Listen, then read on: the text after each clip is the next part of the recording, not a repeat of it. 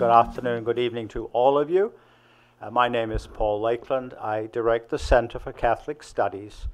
And this afternoon we have a workshop which is the uh, one of the one of living theology workshops that we offer every semester. And this one uh, is entitled, and you have to say it carefully, How do we serve the underserved? We did unfortunately have a misprint in one of our advertisements, and it came out as How do we serve the underserved, the undeserved, which is only one letter wrong. Makes a huge difference, but raises a question for us about the relationship to the underserved and the undeserved. So I'm just going to make a few remarks before I hand it over to our panelists here. To my right is Melissa Quan, who is director of the Center for Social Impact. And to her, did I say to my left? To my right. And to her right is uh, Meredith Smith, who's the uh, who works in the is the works in the associate, associate dean in the office of residence life. I think I got that right. Close enough. Good, close enough. Thank you.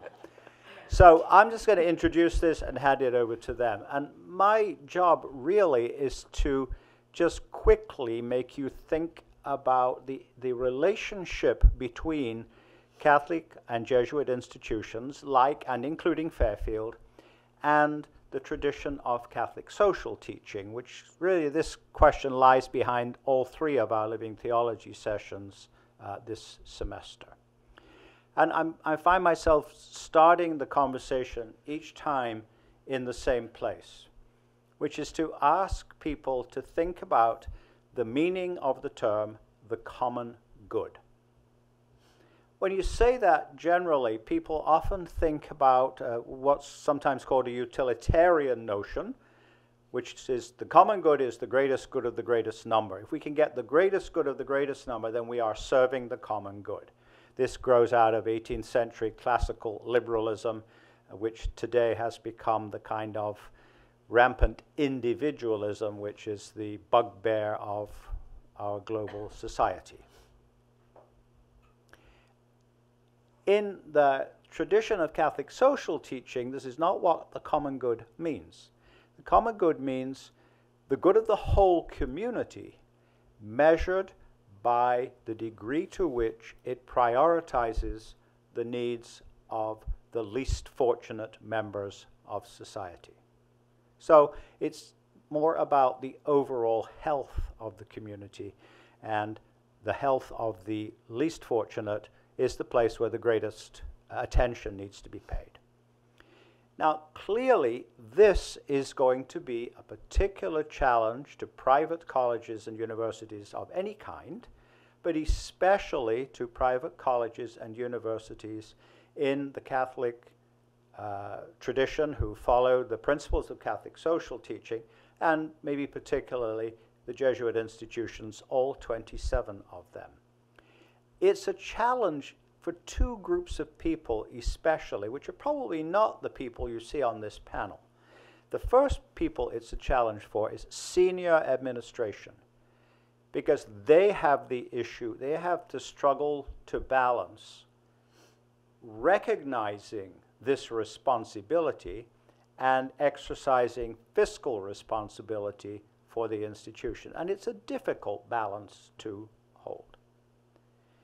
The other people for whom it's a challenge really is the majority of the students on this and other Catholic and Jesuit university campuses, which on the whole is not the financially or economically disadvantaged groups of people. So um, to, to the average Fairfield student or the average student of another uh, Catholic or Jesuit school, talking about shall we say, talking about affirmative action for the underserved can be understood eh, to some extent as a kind of threat to the to the economic viability of the school for those who don't fall into that category. The money, it's a, it's a, you know, how you divide the pie is, is important. So, for Catholic schools in general, this is a difficult issue. It's in Catholic social teaching, but that's not just something popes dreamed up in the 20th century. It goes back to the Hebrew prophets. And sometimes I, I, I wonder about a, prophet like the prophet Amos back in the uh, 8th century before the Common Era in the kingdom of Israel, going to the wealthy people of Israel and saying to them, I hate, I despise your feasts. I have no time for your solemn assemblies. But let justice flow like water and righteousness like an ever flowing stream, which I think translates to let's not be too concerned about what we look like. Let's not be too concerned about our rituals, our presence of ourselves. Let's be concerned about the impact of our need to be a just institution. So I got a couple of other thoughts which I may get to later on. For now, I'm going to turn it over to the to the panel, and I think what they're going to do is talk. I don't want to tell you what they're going to do. I'm looking forward to what they're going to do, but I think that they will talk about what should be done, and perhaps they'll also talk a little bit about how we are actually doing. Now, one little housekeeping thing before I sit down. Since this is a webinar, I'm speaking now to the uh, those of you out online, since this is a webinar, you have the opportunity to raise a question at any moment in the presentation, but you can't do it by voice. You've got to do it by typing it into the Q&A section on your screen, and I will be monitoring those questions, and I will gather the questions, and we will consider as many of them as we can at the end of our session, which will go for about an hour. So without any more ado, I turn it over to Melissa. Thank you. Thank you, Paul. Um, so I'm a bit of a rule follower. Uh, so we, we approach this discussion by tackling each of the three questions uh, that Dr. Lakeland forgot that he had posed uh, in the event description. um, and those three questions are, uh, what are Catholic colleges and universities doing to shoulder their responsibilities to the prefer op preferential option for the marginalized? Uh, what are we doing at Fairfield University and what could we do better? And how can we buck the national trend towards a preferential option for the rich? So uh, we're going to take those one by one and we're going to do a little bit of dividing and conquering, a little bit of tag teaming um, as we we move along um, and hopefully launch us into a fruitful discussion um, where we will solve the grave and persistent inequities in U.S. Uh, Catholic higher education, I'm sure. Um, so the first question, what are Catholic colleges and universities doing? Um, so I'm just going to start with a, a, little bit of framing, um, and then we'll move into some more uh, kind of practical responses to the question. Um, but in his book, Just Universities, uh, Catholic Social Teaching Confronts Corporatized Higher Education, uh, Gerald Beyer argues that because Catholic thought strongly affirms the right to education for the poor, it is important to ask whether Catholic colleges and universities have successfully provided opportunities for advanced learning for those from economically disadvantaged backgrounds. Um, and he argues that in a knowledge based society such as the United States, where bachelor's degree holders earn 65 to 75% more than high school graduates, the right to education must include higher education. Um, and he connects the right to education to the Catholic social principle of solidarity, in that to be in solidarity with the marginalized, it is the duty of Catholics to create the conditions that enable them to become full members of the community. Um, and it seems that many founders of Catholic colleges and universities agreed, at least in principle. Um, the founding missions and current stated missions of many Catholic colleges and universities express a commitment to providing access to economically disadvantaged students. Um, Fairfield University's founder, St. Ignatius of Loyola, uh, founder of the Jesuits, intended for Jesuit higher education to be inclusive of students from diverse socio socioeconomic backgrounds. Um, initially, it was to be free, and Jesuits were, um, quote, uh, to beg for the support of their works. Um, this commitment was restated by the Superior General of the Society of Jesus, Peter Hans Kolvenbach, in 1986 when he said Jesuit schools should embody the option for the poor both in the students that are admitted and in the type of formation that is given. Um, early Jesuit colleges and universities were founded in city centers, and it's common um, for us to hear or to say as we're telling the story, uh, the narrative of our institutions, that we were largely founded to serve new immigrant populations. Um, keeping tuition costs low uh, was aided uh, early on. Jesuits don't cost as much as laypersons, but of course that's uh, changing now. Um, and of course, the landscape of higher education in the US has changed dramatically, um, and this includes, of course, Catholic and, and Jesuit higher education. Uh, the higher education boom that followed World War II and through the early 80s led higher education um, to, to really digging itself into a hole. Uh, Bob Dullea, and, who's vice provost, and Heather Geiger, uh, who's dire- director of IT finance, both at Seattle University, wrote in an article about the challenges and changes in higher education that during this period of rapid growth, higher education was both a contributor to and a beneficiary of a rising tide. In this context, the adaptive strategy for colleges and universities was to climb the ladder. By raising tuition and enrollment, institutions could increase revenue, quality, reputation, market share, alumni loyalty, and fundraising. And this strategy became the default for higher education, and it has been the norm for so long that institutions find it challenging to think in different ways. So we now appear to be stuck and trapped in this uh, vicious cycle that ties increased costs to increased quality, to better reputation, etc. So going back to Beyer, uh, again, in, in the book Just Universities, um, he, he, there's lots of statistics in here.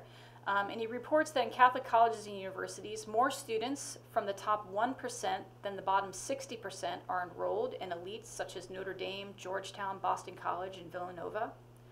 95% of U.S. colleges and universities are beyond the reach of low to moderate income students.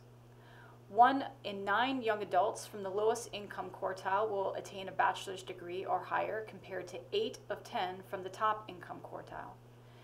Nearly 50% of all U.S. students are Pell eligible, excuse me, Pell eligible, but are significantly underrepresented in enrolled populations.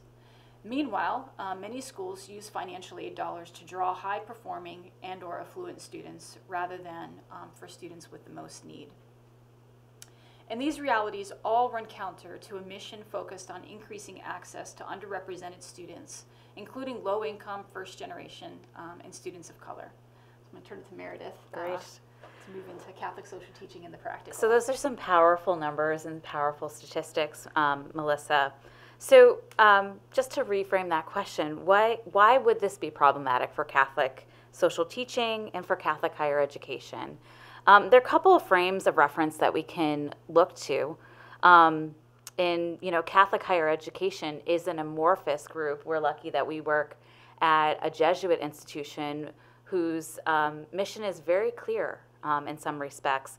Um, and we get a lot of direction from the Jesuits through the four apostolic preferences and through their general congregations.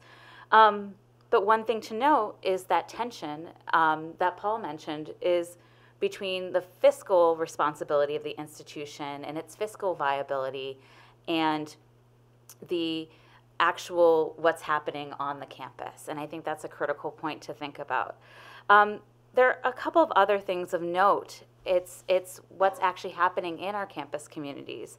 Um, there are national trends and national narratives. Uh, there's a general decline in students being interested in, in supporting and being with others and contributing to service. It goes back to that classical liberalism, that um, rugged individualism. I'm focusing on myself. Um, other trends include seeing students and families as customers rather than students as potential future community members, uh, future citizens of in a, a civically responsible community. Um, questions and costs of purpose around higher education. There's a lot of rhetoric out there that talks about um, is higher education worth the price? Well, for some students, it's not even attainable um, because of the cost. Um, and then just thinking through institutional cost structures, um, through some of my doctoral studies, it becomes very aware that um, a lot of our operating budget comes from room and board, which is one of the areas it's important that students are, are, are living on campus and living in this community. Um, and then one other thing to note is students' expectations. Are they expecting to become um, their in classroom experience to be academically rigorous, but their outside of classroom experience doesn't necessarily look at the whole person. One other thing to note is in terms of our carriers of institutional mission, um, there has been a decline in clergy on campuses.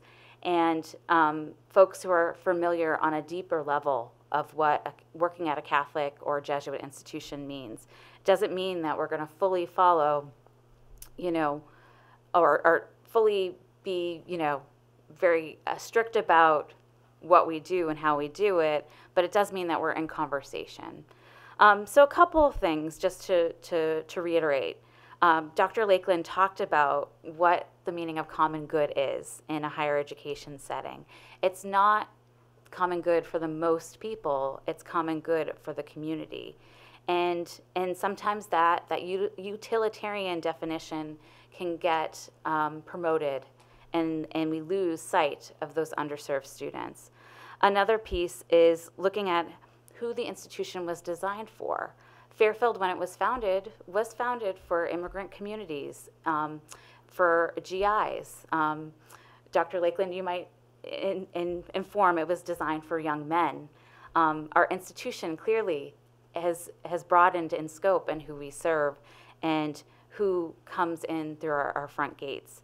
Um, and then just another, just final note, um, how are we contributing to poverty? Some students make tremendous sacrifices to attend college.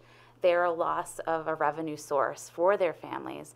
And then we have other students who are incredibly resourceful. That revenue source isn't lost, but they are really having a very different educational experience. They're um, they're coming here and hustling and getting what they need to get done, but they're not having the same collegiate experience that we're calling the Fairfield experience. Um, so I'll turn it back over to uh, Melissa to kind of give us a brighter picture of what Catholic universities are doing well, um, and then we'll dive a little deeper in some of the things we're doing here at Fairfield. Okay, great, thank you. Um, so, so what are Catholic colleges and universities doing? Uh, so in preparation for the event, I skimmed the past uh, five or more years of Conversations Magazine, which is a biannual publication that focuses specifically on Jesuit higher education. Um, my brisk uh, research indicated that we give a lot more attention to formation of students with a commitment to serving or advocating on behalf of the marginalized and oppressed um, than we do to providing access um, to the marginalized. Um, but you know, in Beyer's book, he, he references a few practices employed by Catholic colleges and universities, and colleges and universities really broadly. Um, and they inc include things like increasing need-based aid, um, uh, employing need-blind admissions, uh, moving to test optional admissions criteria, which many, many universities um, are doing right now, um, and being intentional and strategic with recruitment um, and going, uh, recruiting from schools uh, that serve predominantly low-income students. Um, many schools, including Fairfield University, have special programs designed to increase access to underrepresented students.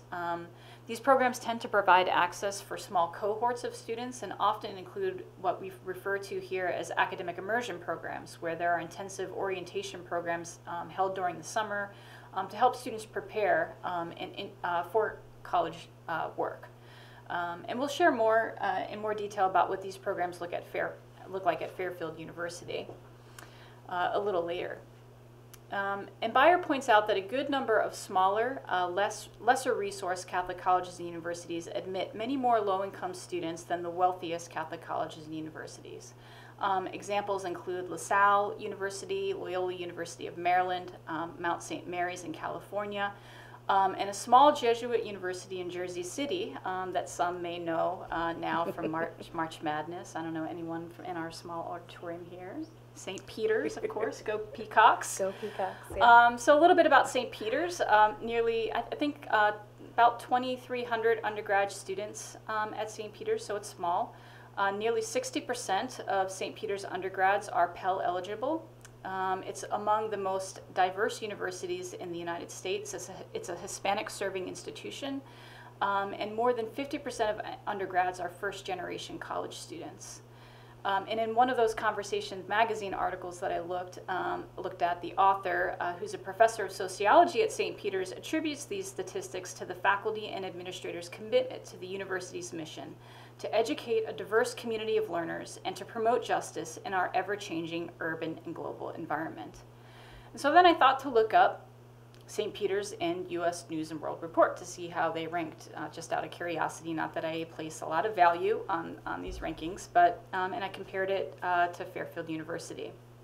So um, uh, Fairfield University uh, had been uh, number three in Regional Universities North, um, and St. Peter's is number 58. Um, Fairfield U is number three in Best Undergraduate Teaching, and St. Peter's is number 24. Um, Fairfield is number 19 in best value. St. Peter's is number seven. Um, and but this is the this is the interesting one for me that kind of jumped out um, in terms of uh, top performers on social mobility. Uh, Fairfield University ranked 155, and St. Peter's ranked number 11. Um, so, uh, you know, obviously there's there's a give and take. There's a um, in, in all of this. Um, and the other thing that, that colleges and universities do, and that um, actually falls into my area of work, uh, is in community engagement. And we often have uh, robust campus community partnerships that are aimed towards improving educational outcomes for young people in the communities that surround um, our institutions, and in some case, um, might even serve as, as pipelines um, to the institution. So these range in development um, and purpose, everything from, from tutoring programs that we were all probably familiar with, uh, to more extensive partnerships that can, as I said, create a pipeline uh, from the community to the campus, um, all those, although those are, are rare. Um, so I don't know if you want to talk Yeah. about Universal Divine or move, move on. I think we can move on a little bit. Okay. So, um, more about what we're specifically doing here at Fairfield. Um, our colleagues in the enrollment area have a number of different scholarships for some of these community partnerships, um, including uh, tuition for local communities, uh, the Bridgeport Scholarship, um, and the the Community Partner Scholarship. Those scholarships are great opportunities. Those students tend to commute because, um, and we all know gas costs a lot these days, um, but because it doesn't include room and board on some of those those programs. Uh, we have an incredible partnership with Upward Bound, um, and we're seeking new ideas. Our our proposed Bellarmine College, modeled after the Arrupe College at um, Loyola University, to increase access. Um, additionally, for our students who are currently on campus, uh, we have a pre college arrival program called Academic Immersion, which serves about 30 students um, who their high school experience may have had um, a- a, set of standards that hasn't prepared those students properly for college level work. Um, we also have mentoring programs, the Cura Personalis mentoring program for underserved students. Um, and then one final note um, around what we're doing well, I will say as a campus community, when we are aware of a student in crisis, um, we do have incredibly caring team members who will figure out a way to make sure that student um, has access to what they need. Um, but sometimes there are students who are just on the cusp of the crisis and they're not able to communicate that need. Um, so, you know, that speaks to we could cover um, what we could do better and some things to think about. We are not a need blind institution um, because we financially can't be at this point. But what does that mean? So, we have students who we do who are able to access, get full scholarships, but they and their families may be one crisis away from needing to drop out of schools. I mentioned this before that loss of revenue. Um, many of our students have off campus jobs and balance a lot, um, so they're not able to experience um, the community or the sense of belonging that other students have.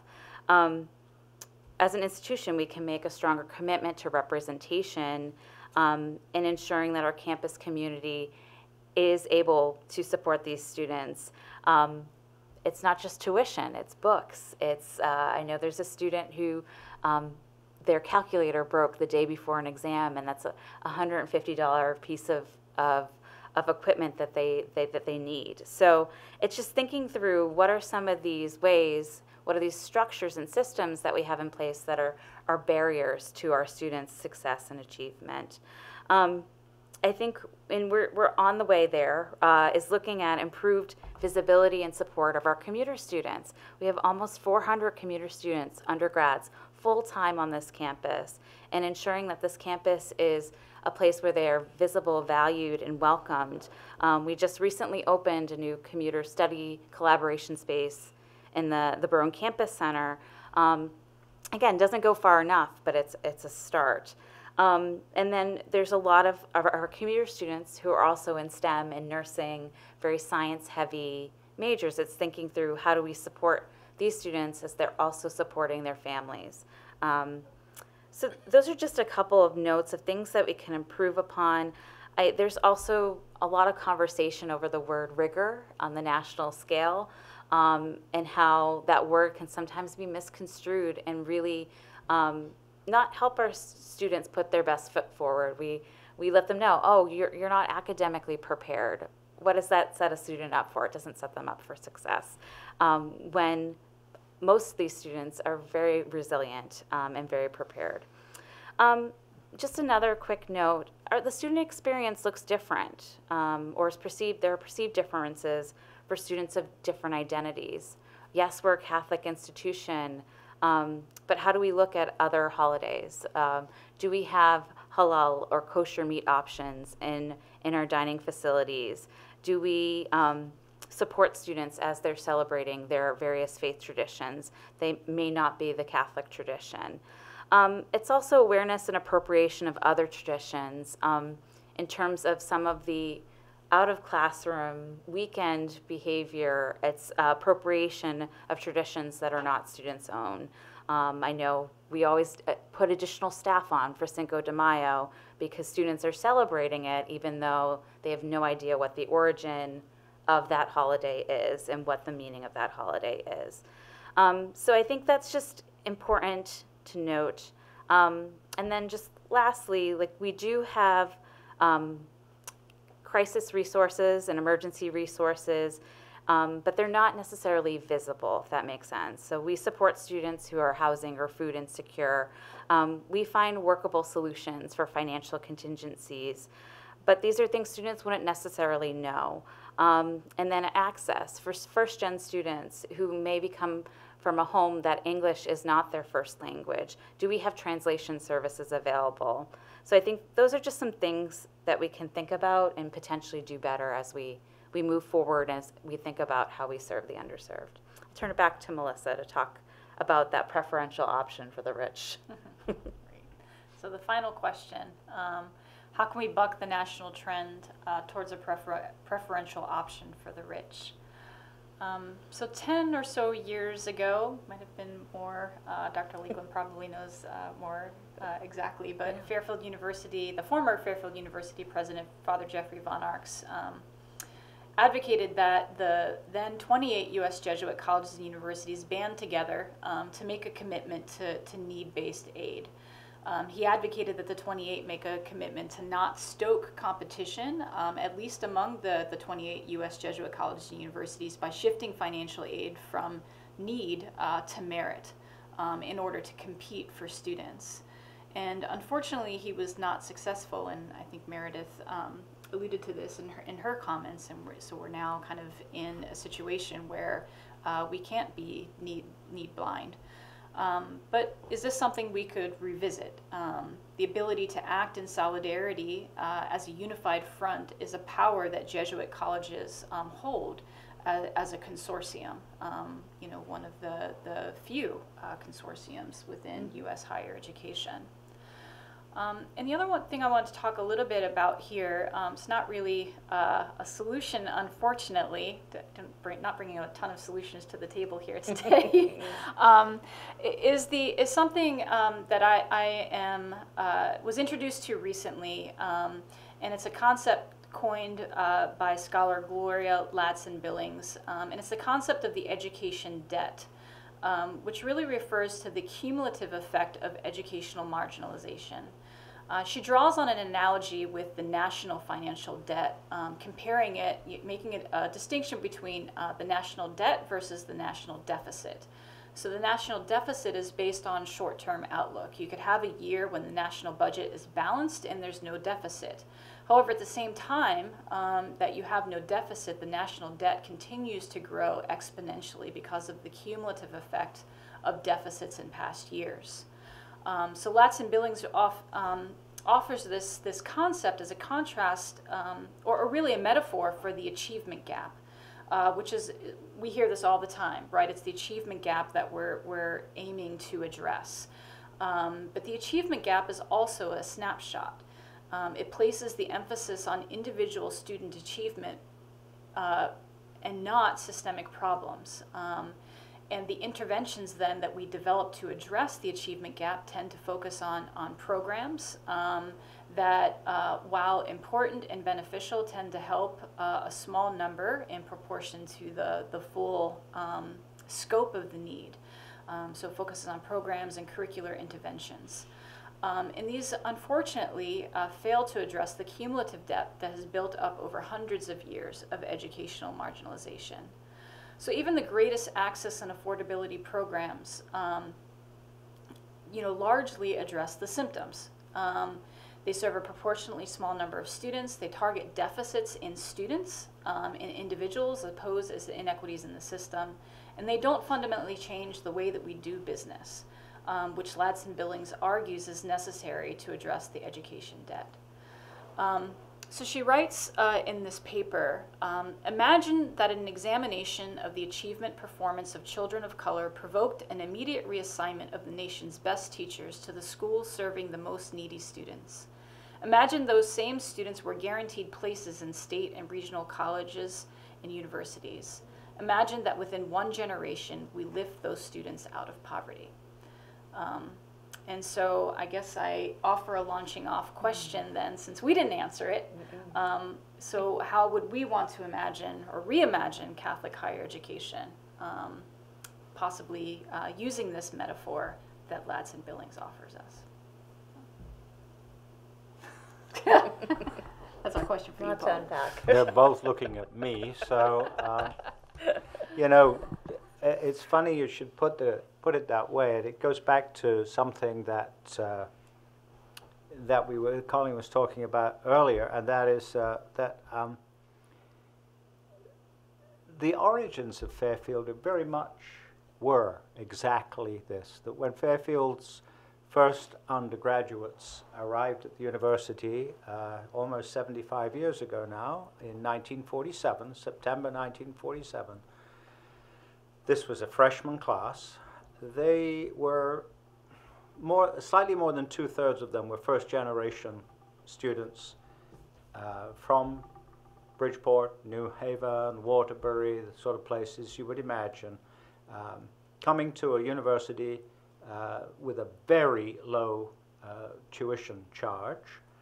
And uh, the other bunch were GI veterans on a GI Bill. But these students, their parents were um, mostly people who worked in you know construction work or uh, not professionals at all.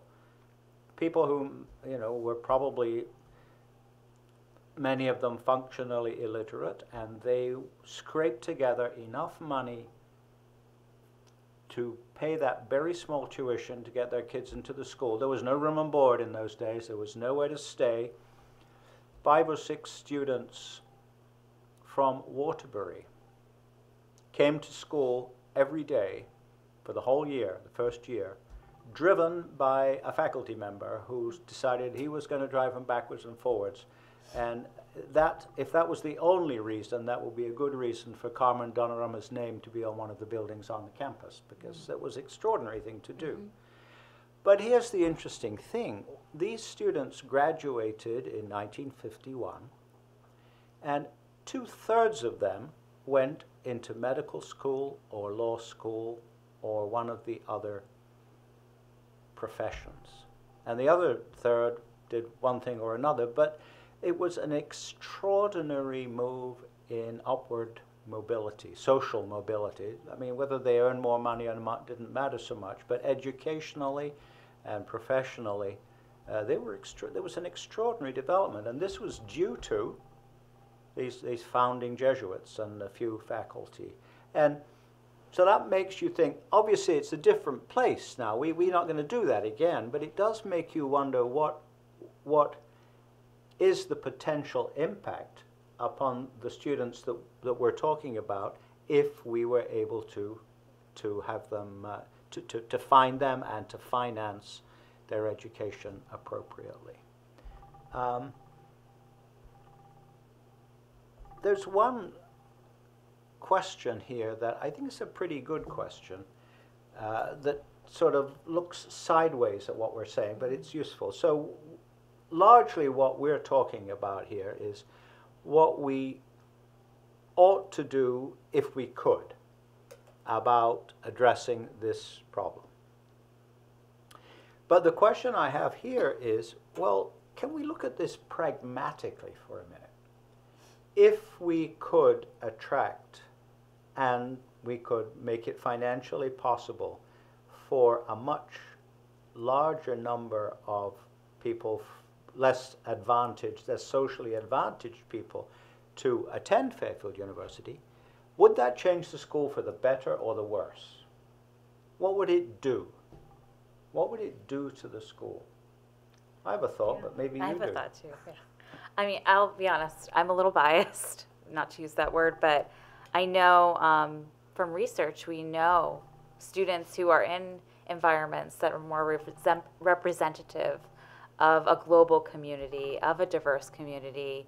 Um, everybody benefits in that community. Um, that said, uh, there's some key lines that we need to be mindful of in terms of we don't want to tokenize our students who are from uh, these experiences. We don't want to rely on these students to educate us who potentially are in the majority um, about their experience. And I think, um, but I know, um, at least speaking from my own experience going to an undergraduate institution that was more religiously diverse. It was all women, so it wasn't it wasn't gender diverse, but it was it was religiously diverse, culturally diverse. Um, you know, students from different opinions, backgrounds, everything. Um, it, it disrupted who I was as a person, and thus helped me grow.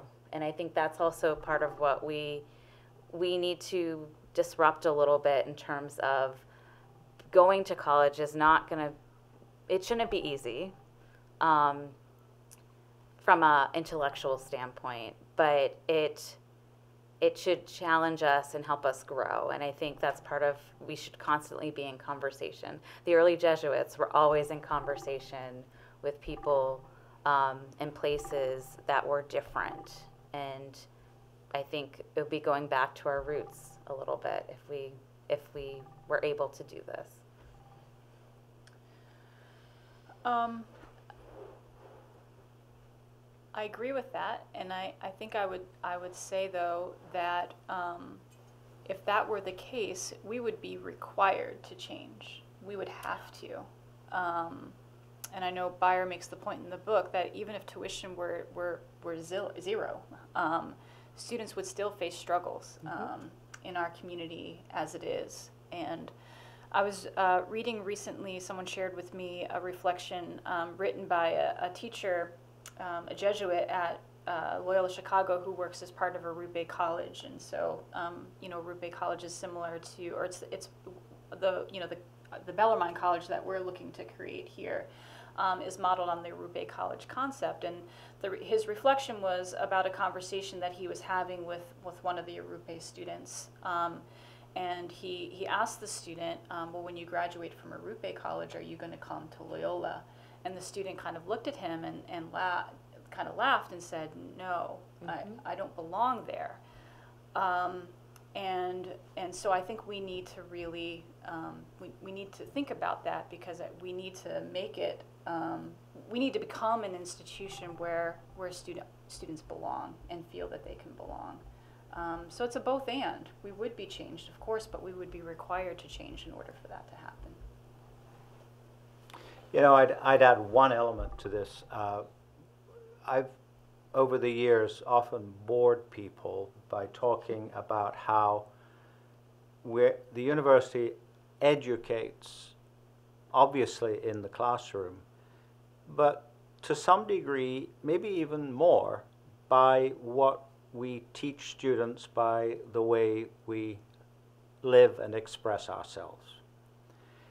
And I, I've summarized that sometimes by saying, you know, I think the purpose of our, our educational purpose overall is to model for students the kind of society that we hope they will contribute to creating in the years beyond uh, graduating. And one of the things that we that is so evident in our American society today is that we are we all live in silos, mm-hmm. right? Now you can you know, pick on the immensely rich who live behind gate, in gated communities, but that, that's just the extreme example. We tend to associate with the people we agree with, live with people of similar, live in neighborhoods of people with a similar uh, lifestyles and so on. Um, and the structure of American education now with the very elite colleges and places like ours and state institutions and community colleges and so on sort of replicates that. Mm-hmm. So if we were able to do uh, something to, to significantly increase the number of underserved students on the campus so that we weren't making them into tokens, mm-hmm. right? Mm-hmm. We wouldn't just be, con- we'd, we'd be doing what we're supposed to do, but we'd also be doing something to ameliorate this very corrosive uh, siloage. Siloage, is that the word? Mm-hmm. Siloing of, uh, silage is something different siloing of American society. So I think it, it, it's, it's good for the individual students, it's good for this community, it's good for the mission of Jesuit institutions, and it's actually good for, it would actually be good for American society right now. So uh, there was another question here, which I, I, I think it's, it's a background question to what we've been talking about, but it, I don't know how easily we answer it. And that is, a lot of what we're, we're saying here goes against the grain of uh, fiscal pragmatism. Mm-hmm. What would it cost us to be a sign of contradiction? That's another question from the ether. Mm. Goodness. Anyone want to take a stab at that? To call finance. uh, that's such a trick. friend. That's such a tricky um, question. Um, a university's budget should be a reflection of their mission, one's mission and action. Um, but the other piece is universities are very complex structures we are complex and, and there's a cost associated. We are a relatively young institution at, you know, uh, oh shoot, I should know. Well, 75 years since we welcomed the first incoming class. Um, but at the same time, things cost money. Um, I have to say, you know, kudos to our, our colleagues in facilities. They make sure we don't have a lot of deferred maintenance um, where some of our, our colleagues at other institutions, um, I won't name names up in New Haven, but um, have a lot more stonework and things that cost. And you don't mean Albertus Magnus, No, I don't mean Albertus Magnus, but like pieces deferred maintenance that cost a great deal of money that can, um, not that that institution will ever be in a, in a crisis point, but um, I think that's there's the very real cost of attending college what students are paying and the overall cost are two different things. The tuition does not cover fully, believe it or not, even though tuition is very high, the cost of attending. Um, so, and that's due to really, you know, wonderful fiscal planning on, on Fairfield's part. So that's such a tricky, it's a tricky proposition um, to think about. But one thing is, you know, we look at investing in our students now with the hope that they will give back later, as opposed to um, seeking out those who will give us money now, but it's not sustainable for the future. So I think we have to think about pain now or pain later, um, just in general. So I'll stop talking. Those are my thoughts.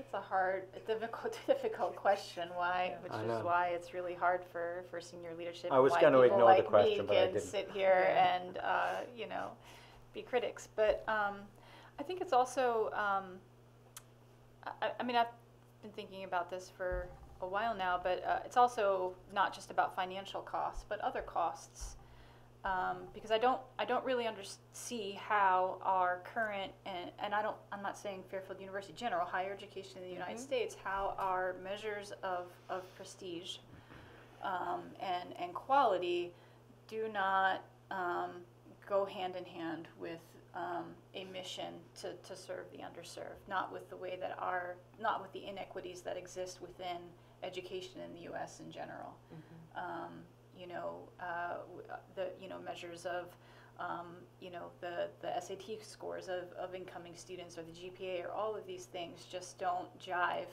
um, with the inequities that exist within K through 12.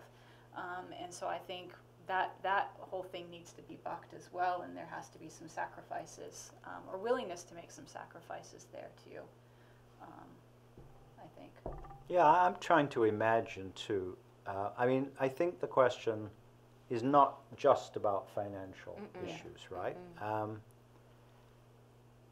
and I think the question might be looking for an answer that says, well, there might be some advantages to doing this.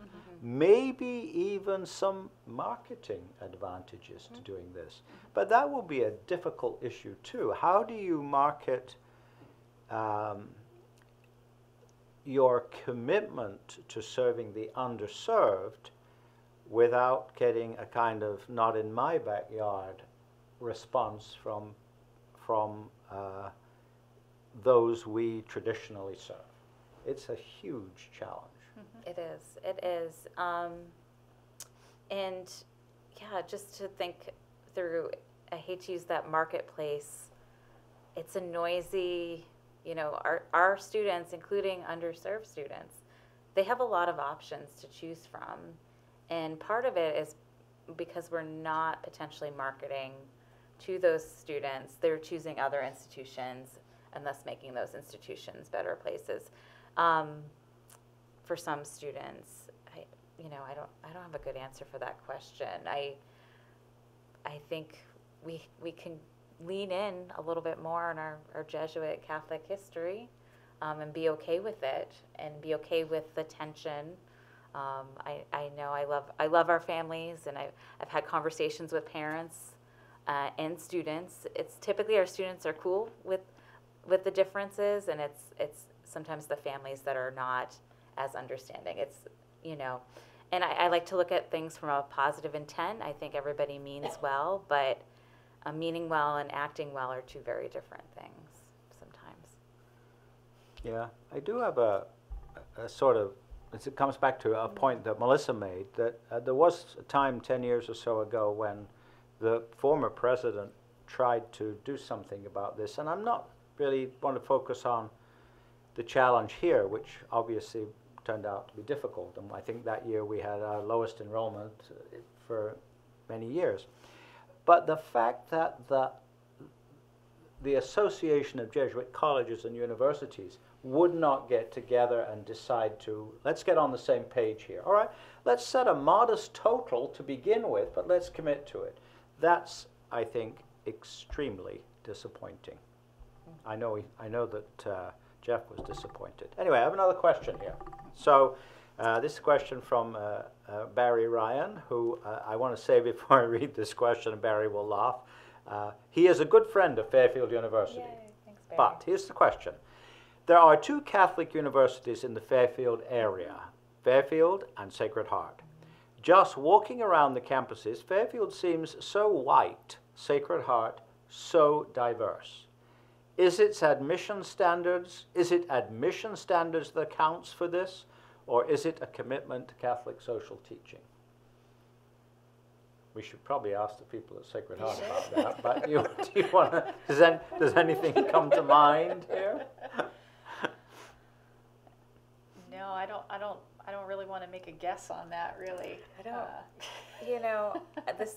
I shouldn't say this, but you know, Sacred Heart, in terms of its proximity to our our wonderful neighbors in Bridgeport, um, it's, you know, I, I, it goes back to potentially marketing as well. Um, you know, not to knock our, we do have a beach culture. We it, release students to the beach, um, and families do make incredible sacrifices so students can live at the beach their senior year. But that feeds into more of this vacation culture as opposed to higher education culture. Not knocking the beach. We will not be getting rid of the beach. I know that room is always out there, but um, but I think we have to look at the both. It can be a both and. It's not an either or proposition. Um, so, but that's interesting. We should call our colleagues at Sacred Heart. I'm gonna go look Um, up their statistics Yes. later tonight. Yes. I, I, I do think, uh, you know, so I, I run our Center for Catholic Studies, and I, I do, my perception is that Sacred Heart handles the rhetoric of the Catholic intellectual tradition better than we do. That's to say, their more of their leadership, even more of their faculty, seem to be on that page. So the perception, uh, I think Barry's perception is understandable. I don't know about the the question of whether it's more white or more diverse. I don't spend enough time on their campus to know if that's the case. But I think he is right that they do they do they do a lot of things connected to the Catholic intellectual tradition that um, I wouldn't say they put us to shame, but they, they teach us a bit. So that's the best we could do with that. Um, do we have another question here? Hold on. No, we have no more questions there. So do we have a question from the House? Uh, the, the many people in the auditorium seem not to have a, a question. Um, I'm just looking at one more thing here. Just can I pop in real quick? Yeah. One thing to note, because we've talked a lot about cost. Um, I, I think higher ed uh, is going to hit a point where increased costs yearly is just unsustainable. So um, know that that's potentially coming. What does that look like for Fairfield? I'm not sure, but um, just we, we will see these trends where, you know, uh, I know uh, colleagues at another Jesuit institution, their price tag is $80,000 a year for attendance. And I'm just like, whoa, that's, who can afford that? Hmm. Who should afford that? Right. So, but that's also, you know, other factors too. Does either of you have a last word for our audience? I, I gave these two people a very difficult task, and they've, they've, they've done a remarkably good job here because uh, it is just every everybody would like to be able to wave a magic wand and, and make our campus more diverse in every respect, including, and maybe even primarily, uh, serving the underserved there's no question. I think. I mean, there may be a few hermits in a cave somewhere on campus who don't agree with that, but I think people do agree with that. But it's such a difficult thing to do for all the reasons they've laid out. But we have to keep trying because our mission demands that we, we, we attend to this. We, we, we, we can never let ourselves sit back and be comfortable and say, well, we did the best we could, we'll just go ahead. And uh, those are my last words. Anyone else?